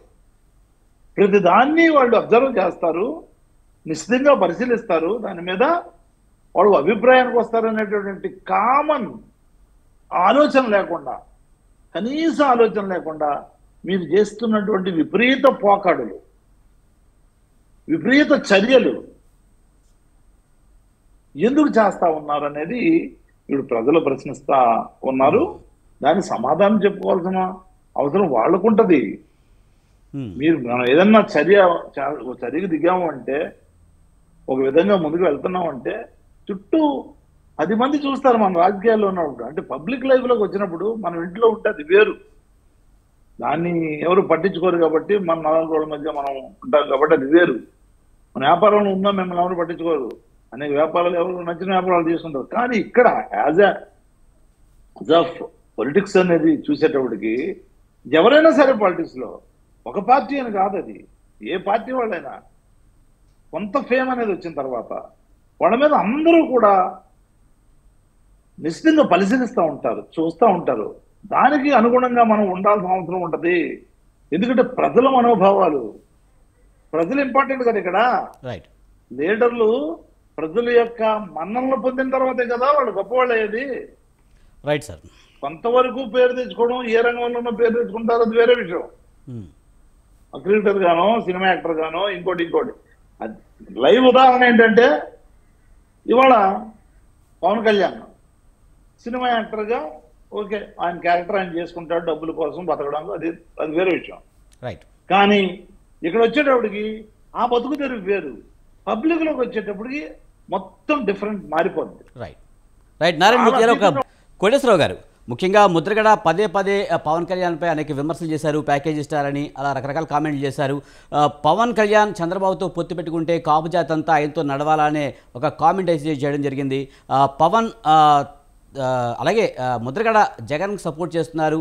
మరి ముద్రగడ జగన్ సపోర్ట్ చేస్తే కాపు జాతి అంతా ఇటువైపు నడవాలని చెప్పి వీళ్ళు కూడా కామెంట్ చేస్తున్న పరిస్థితి. దాదాపు ఏపీలో పద్దెనిమిది శాతం కాపు ఓటింగ్ ఉన్న పరిస్థితి ఉంది. ఈ కాపు కాపు సామాజిక వర్గం ఎటువైపు మొగ్గితే అటువైపు గెలుపు అవకాశాలు ఎక్కువగా ఉండే అవకాశం కనిపిస్తుందంటారా? నేను ఇంతకు ముందు కూడా చెప్పాను. కాపు సామాజిక తరగతిలో కూడా అనేకమైనటువంటి భిన్నమైనటువంటి తరగతులు ఉన్నాయి. ఒక ప్రాంతంలో ఉన్నటువంటి కాపులని మరొక ప్రాంతంలో ఉన్నటువంటి కాపులు ఈక్వల్గా చూడనటువంటి పరిస్థితులు కూడా మనం గమనంలో ఉంచుకోవాలి. అందువలన కాపు సామాజిక తరగతి మొత్తంగా అంటే ఆ కాపు సామాజిక కాపులు అనేటువంటి తరగతిలో వచ్చేటువంటి వాళ్ళు చాలా మంది ఉన్నారు. వాళ్ళందరూ గణనీయమైనటువంటి సంఖ్యలో ఉన్నమాట వాస్తవమే కానీ వాళ్ళందరూ కూడా ఐక్యంగా ఉండేటువంటి అవకాశం లేదు. ఎవ్వరు కూడా ఆ విధమైనటువంటి రాజకీయ సమీకరణాలతోటి ఒక పార్టీకో లేకపోతే ఒక వ్యక్తికో లేకపోతే ఇంకొకళ్ళకో ఇంకొకళ్ళకో లాయల్గా ఉండేటువంటి అవకాశం లేదు. రాజకీయ ప్రయోజనాలు రాజకీయ ప్రయోజనాలతో పాటు ప్రభుత్వం అందించినటువంటి సంక్షేమ పథకాలు కావచ్చు లేదా ఇతరత్ర రాజకీయ భావాలు కావచ్చు వాటన్నింటికి అనుగుణంగా ఓటు వేస్తారు తప్ప కులాన్ని బట్టి ఓటు వేసేటువంటి వాళ్ళు ఉండరు. ఏ కులము ఆ విధంగా ఆంధ్రప్రదేశ్లో ఒక పార్టీకి పూర్తిగా కట్టుబడి ఉన్నటువంటి పరిస్థితి లేదు. కానీ ఏపీలో అయితే కుల రాజకీయాలు ఎక్కువగా ఉంటాయి. ఏపీలో ఇప్పుడు చూస్తుంది టీడీపీకి కమ్మ సామాజిక వర్గం అలాగే వైసీపీకి రెడ్డి సామాజిక వర్గం అలాగే పవన్ పవన్ కళ్యాణ్కి కాపు కులం ఖచ్చితంగా అంటిపెట్టుకుని ఉంటాయనే ఒక వాదన ఉంది కదా. ఇప్పుడు సమాజంలో సమాజంలో అంతర్లీనంగా కులతత్వాలు మతతత్వాలు అవి ఎప్పుడు ఉన్నాయి. వాటిని ముందుకు తీసుకొచ్చి లబ్ధి పొందుదాము అనుకున్నటువంటి వాళ్ళు వాళ్ళని పైకి తీసుకొచ్చి వాటి గురించి అతిశయోక్తులు కూడా ప్రచారం చేస్తున్నారు. అలా అనుకున్నట్లయితే రెడ్డి సామాజిక తరగతిలో ఉన్నటువంటి వాళ్ళు ఎంతమంది తెలుగుదేశం లేదా జనసేన లేదా ఈ కూటమి తరఫున పోటీ చేయడం లేదు. అదే విధంగా కమ్మ సామాజిక తరగతికి చెందినటువంటి వాళ్ళు ఎంతమంది వైసీపీలో అభ్యర్థులుగా లేరు లేదా వాళ్ళ మద్దతుదారులుగా లేరు. అందువలన ఎవరి ప్రయోజనాలు వాణిజ్య ప్రయోజనాలు కావచ్చు లేకపోతే ఆ ప్రాంతంలో తమ పట్టు పోకుండా ఉండాలంటే రాజకీయంగా పట్టుకోకుండా ఉండాలంటే ఆ ప్రయోజనాలు కావచ్చు. రకరకాల కారణాలతోటి వాళ్ళు భిన్నమైనటువంటి పార్టీలను ఎంచుకుంటున్నారు తప్ప ఈవెన్ ఎన్టీ రామారావు హయాంలో కూడా మొత్తం కమ్మ సామాజిక తరగతి తెలుగుదేశం పక్షాన లేదు. అదేవిధంగా రాజశేఖర రెడ్డి ఉన్నా లేకపోతే ఇంకో వాళ్ళు ఉన్నా ఇంకో వాళ్ళు ఉన్నా రెడ్డి సామాజిక తరగతి కూడా నూటికి నూరు శాతం ఎప్పుడు కూడా ఆయన వెనకాల లేదు. మనం చూసాం ఇద్దరు ఎంపీలు ఒంగోలు నెల్లూరు ఎంపీలు ఇద్దరు కూడా మరి జగన్మోహన్ రెడ్డి గారి నుంచి విడిపోయి బయటకు వచ్చి వేరే పార్టీ తరఫున పోటీ చేస్తున్నటువంటి మనం చూసాం. ఎందుకని? ఎందుకని అంటే వాళ్ళ యొక్క రాజకీయ అవసరాల ఉమ్. ఆర్థిక ప్రయోజనాలే ముఖ్యం. అంతకు మించి ప్రజా ప్రయోజనాల కోసం పోటీ పడేటువంటి వాళ్ళు ఏం కాదు. ఆర్థిక ప్రయోజనాలు లేదా అధికారం వస్తది కేంద్రంలో అధికారం ఇట్లా రకరకాల లింక్లు వాళ్ళకు కానీ సామాన్య ఓటర్లకైతే కొంత కులాభిమానం ఉంటుంది. మనోడ్రా అని చెప్పి ఓట్లేసే పరిస్థితులు ఏపీలో అయితే ఉన్న పరిస్థితి లేదంటారా? సామ ఇప్పుడు స్థానికంగా ఉన్నటువంటి వాళ్ళకి ఆయా గ్రామాల్లో కానీ లేదా ముఖ్యంగా గ్రామాల్లో కొంతమేరకు అటువంటి ప్రభావం ఉంటది. ఎందుకంటే ఎదుటి సామాజిక తరగతి కూడా అటువంటి దానికి పురుకొల్పుతుంది. ఫలానా వాళ్ళు ఆ విధంగా ఉన్నప్పుడు మనం మాత్రం ఎందుకు ఉండకూడదు అనేటువంటిది ఉంటది. కానీ నూటికి నూరు శాతం మాత్రం గ్రామాల్లో కూడా ఉండదు. నూటికి నూరు శాతం గ్రామాల్లో కూడా ఉండదు. భిన్నమైనటువంటి పొలిటికల్ పోలరైజేషన్ తప్ప కుల పోలరైజేషన్ అనేటువంటిది ఉండదు. కుల పోలరైజేషన్ ఉండేట్లయితే ఇవాళ తెలుగుదేశం కానివ్వండి తెలుగుదేశం కూటమి నిలబెట్టినటువంటి అభ్యర్థులు కానివ్వండి లేకపోతే వైసీపీ నిలబెట్టినటువంటి అభ్యర్థుల్లో ఏదో సోకాల్డ్ అగ్రకులాలకు చెందినటువంటి వాళ్ళు ఎవరు గెలవడానికి వాళ్ళకు ఉన్నటువంటి ఏముంది? మొత్తం అంతా కూడా దళితులు గిరిజనులు లేదా వెనుకబడిన తరగతుల జనాభా ఎక్కువ కదా. నూటికి ఎనభై శాతం మంది. కానీ ఎనభై శాతం చొప్పున ఆ యొక్క పార్టీల క్యాండిడేట్ లేరు వాళ్ళు. అందువలన ఎందుకని వేస్తున్నారు వాళ్ళకి అంటే రాజకీయ పరమైనటువంటి కారణం ఇతరత్ర అనేకమైనటువంటి కారణం. అందుకని కుల పరాధిపదికన ఎన్నికలు జరగటం లేదు. అయితే జనం దాన్ని ఒక కలర్ కింద వాడుకోవడానికి ఇవాళ దేశంలో అదే చూస్తున్నాం కదా మత ప్రాతిపదికన జనాన్ని చీల్చడానికి ఎట్లాగైతే కొన్ని పార్టీలు ప్రయత్నిస్తున్నాయో కుల ప్రాతిపదికన కూడా లబ్ధి పొందేందుకు ఆ విధమైనటువంటి ప్రయత్నాలు చేస్తున్నాయి. అటువంటి ప్రయత్నాలు జయప్రదం కావు అనేది నేను మరోసారి చెప్పదలుచుకున్నాను రైట్. నారాయణమూర్తి గారు సామాజిక వర్గ సమీకరణలు ప్రభుత్వ వ్యతి- వ్యతిరేక ఓటు చేరనివ్వకుండా చేయడం ప్రభుత్వ వైఫల్యాలను ఎత్తి చూపుతూ కూటమితో ముందుకెళ్తున్న పరిస్థితి కనిపిస్తూ ఉంది. మరి ఈ నేపథ్యంలో ఈ కూటమికి ఏ ఏ అంశాలు కలిసి వచ్చే అవకాశం ఉందని వాళ్ళు చెప్తున్నమాట సా- సామాజిక? సామాజిక వర్గ సమీకరణలు ప్రభుత్వ వ్యతిరేక ఓటు చేరనివ్వకుండా చేయడంలో సక్సెస్ అవ్వడం అలాగే ప్రభుత్వ వైఫల్యాలను చూపుతూ కూటమి ముందుకు వెళ్తున్న పరిస్థితి. ఒక విషయం గుర్తుపెట్టుకోవాలండి మనం. ఇవాళ ఈ ప్రపంచంలో మానవాళి మొదలైన దగ్గర నుంచి కూడా. ఈ సామాజిక అవసరం అనేది కొనసాగుతూనే ఉంది. ఇవాళ మొదలైంది కాదు ఇది. నిన్న మొదలైంది కాదు. తెలుగుదేశం పార్టీని సాధించి వీళ్ళు ఏమంటుంటారండి? బీసీలు పార్టీ అని అనలేదా వాళ్ళు. ఏ ఎందుకు అనాలి అప్పుడు ఆ రోజు? అనాల్సిన అవసరం ఎందుకు వచ్చింది? ఎక్కువ ఓటింగ్ ఉంటుందంటే ఆ వర్గాలని దగ్గరికి తీసుకోవడం కోసం బీటీ బీసీ పార్టీ అని అని ఉండొచ్చు అన్నారు కదా? అవును. అది నిజమే కదా ఒప్పుకుంటారు? వాస్తవమే. మరి అలాంటప్పుడు వైసీపీ వైసీపీ కూడా ఉంది గతంలో మేము బీసీని దగ్గరికి తీసుకుంటున్నాం మరి బీసీలందరినీ ఎక్కువ సీట్లు ఇస్తున్నామని కూడా వైసీపీ కూడా చెప్పిన పరిస్థితి బీసీ బీసీలు ఎక్కువ సీట్లు ఇచ్చింది YC YSR Congress party. BC ఎంపీలు ఎక్కువ సీట్లు ఇచ్చింది వైఎస్ఆర్ కాంగ్రెస్ పార్టీ. ఎమ్మెల్యేలు ఎక్కువ సీట్లు ఇచ్చింది వైఎస్ఆర్ కాంగ్రెస్ పార్టీ. ఎమ్మెల్సీలు ఎక్కువ మందికి ఇచ్చింది వైఎస్ఆర్ కాంగ్రెస్ పార్టీ. మంత్రులు ఎక్కువ ఇచ్చింది వైఎస్ఆర్ కాంగ్రెస్ పార్టీ. చైర్మన్ ఎక్కువ ఇచ్చింది వైఎస్ఆర్ కాంగ్రెస్ ఎవరికి వాళ్ళు ఎవరికి వాళ్ళే బీసీలు ఇచ్చింది మా వైఎస్ఆర్ వాళ్ళు కాంగ్రెస్ అంటారు ఆ, ఆ, ఇది రాజకీయంగా జరిగేదే. కానీ నిజానికి కుల సమీకరణలు ఏపీలో అయితే పనిచేస్తాయి. ఖచ్చితంగా ఆయా ని- ఆయా ఆయా వర్గాలు ఇప్పుడు వైసీపీకి రెడ్డి సామాజిక వర్గం అలాగే టీడీపీకి కమ్మ సామాజిక వర్గం అలాగే జనసేన కాపు సామాజిక వర్గం ఇవన్నీ వెన్నుదన్నుగా ఉన్న మాట వాస్తవం కాదంటారా? మెజారిటీ పీపుల్ ఆయా కులాలు ఆధారంగానే రాజకీయాలు నడుస్తున్నలో వాస్తవం లేదంటారా? వైఎస్ఆర్ కాంగ్రెస్ పార్టీ మిగతా పార్టీ ఏ సామాజిక వర్గం మీద ఆధారపడి వాళ్ళు రాజకీయాలు చేస్తున్నారు ఆ సామాజిక వర్గాన్ని ఏం చేశారు అనేది వాళ్ళకు వదిలిపెడతాం. వాళ్ళు ఆ సామాజిక వర్గాన్ని పట్టుకొని రాజకీయాలు చేస్తే ఆ సామాజిక వర్గం వాళ్ళ వెనకతలు ఉంటుందని వాళ్ళ భ్రమంలో ఉంటే వాళ్ళు వాళ్ళ భ్రమలో వాళ్ళకు ఉండేవండి. కానీ వైఎస్ఆర్ కాంగ్రెస్ పార్టీ ఇవాళ బీసీ ఎస్సీ ఎస్టీ మైనార్టీలతో పాటుగా ఉన్నత వర్గాల్లో ఉన్న ఆర్థికంగా వెనుకబడి ఉన్న వాళ్ళందరికీ కూడా అసలు కులాలు లేవు మతాలు లేవు పార్టీలు లేవు ప్రాంతాలు లేవని ఇవాళ ప్రతి ఒక్కరికి అర్హులైన ప్రతి ఒక్కరికి ఇప్పుడు ఆరోగ్యం బాగాలేదండి. కులంతో సంబంధం ఉంది. ఆయనకి ఆరోగ్యానికి సంబంధించిన ట్రీట్మెంట్ కావాలా? అనారోగ్యంగా ఉన్నప్పుడు ట్రీట్మెంట్ కావాలా? ఆరోగ్యశ్రీని ఇరవై ఐదు లక్షలు పెంచారు. ఆ కులాలు లేవు మతాలు లేవు ఐదు కోట్ల మందికి. అదేవిధంగా ఇవాళ రైతు భరోసా ఉంది. రైతు భరోసా రైతు అనేటువంటి దాని కులమే ఉంది. అన్ని కులాల్లో రైతులు ఉన్నారు. మరి ఎందుకంటే జగన్మోహన్ రెడ్డి మాట్లాడితే నా ఎస్సీ నా బీసీ నా నా ఎస్సీ అంటారు. ఎందుకు మరి కుల- ప్రాతిపదికన చేయకపోతే ఏమి చేయకుండా అందరికీ అన్ని అన్ని చేస్తామని చెప్పొచ్చు కదా? అది చేస్తూ అది చేస్తూ అదే చెప్తా. అదే చెప్తా ఉన్నా నేను. ఇన్ని చేస్తూ కూడా ఇవాళ బీసీ ఎస్సీ ఎస్టీ మైనార్టీలకు మీరు ప్రాధాన్యత ఇవ్వకుండా వాళ్ళ అధికారాన్ని దూరంగా వాళ్ళ గౌరవానికి దూరంగా ఉన్నారు. వాళ్ళని గౌరవించాల్సిన అవసరం ఉంది. ఎందుకంటే వాళ్ళకే ఆత్మగౌరవం ఉంటుంది అనే ప్రధానమైన అజెండాతో ఇవాళ వాళ్ళ కష్టాలను తీర్చాల్సిన అవసరం ఉంది. వాళ్ళ కష్టాలను ఆదుకోవాల్సిన అవసరం ఉంది. వాళ్ళ ఉన్నత స్థితిలో తీసుకురావాల్సిన అవసరం ఉందని చెప్పేసి వాళ్ళు చదువుకునే బళ్ళు ఇంగ్లీష్ ఇంగ్లీష్ మీడియం బళ్ళు చేశారు. వాళ్ళు చదువుకునే బళ్ళు వాళ్ళు బ్రహ్మాండంగా అన్ని ఇన్ఫ్రాస్ట్రక్చర్స్ అమ్మఒడి చేయూత చేదోడు అవన్నీ ఇస్తూ విద్యా దీవెన వసదీవెన విద్యా కానుక విదేశీ విద్యా దీవెన గోరుముద్ద విద్యా కానుక అని చెప్పేసి బెల్ట్ కానీ షూ కానీ ఇవాళ బయట కాన్వెంట్ స్కూల్లో చదువుకునే పిల్లలతో సమానంగా వాళ్ళు కూడా చదువుకోవాలని ఇచ్చారు ఇవాళ. ఎందుకు ఇచ్చారు? వాళ్ళు మంచి చదువులు చదవాలి. వాళ్ళు ఐబీ చదవాలి. వాళ్ళు బైజూస్ కంటెంట్ చదవాలి. వాళ్ళు ట్యాబుల్లో చదవాలి. వాళ్ళు డిజిటల్ ప్లాట్ఫామ్లో చదవాలి. డిజిటల్ క్లాస్ రూమ్లో వాళ్ళు కూడా నేర్చుకోవాలి. ఉన్నత స్థాయికి వాళ్ళు కూడా వెళ్ళాలనేటువంటి ఏకైక కారణంతో ఇవాళ ఆ వర్గాలన్నింటినీ కూడా ముందుకు తీసుకెళ్ళే కార్యక్రమం. ముందు నేను నడిపిస్తాను.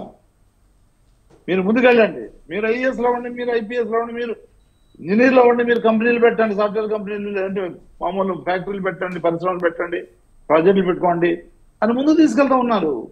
అది కదా నాయకుడు కావాల్సింది నా కులం వాళ్ళకి నేను చేసుకుంటా నా కులం వాళ్ళు ఇక్కడ రాజధాని ఉంటే అక్కడ బీసీ ఎస్సీ ఎస్టీ మైనార్టీలో లేదంటే ఆ కులంలో కూడా వెనుకబడిన వాళ్ళు ఉండడానికి వీల్లేదు.